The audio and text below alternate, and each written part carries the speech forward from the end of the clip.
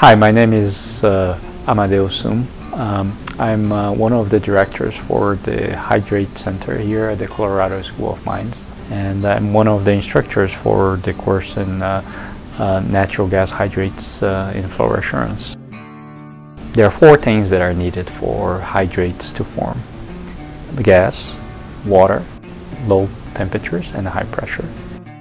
Uh, industry spends a significant amount of effort in trying to prevent the formation of hydrates so that they are not pl plugging those pipelines, uh, those flow lines, uh, and they can ensure the um, safe and steady uh, production of uh, oil and gas.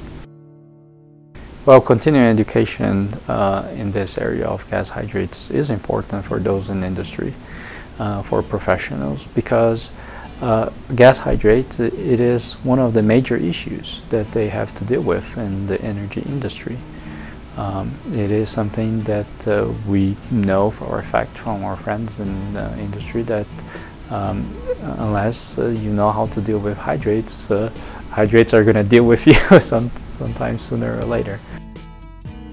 it is a fairly informal course, um, one that uh, it's not set by the agenda, but it's set by how the students, the students, the attendees' interest in learning the material and how this will be best suited to serve them as they go back to whether it is their research group or back to their companies.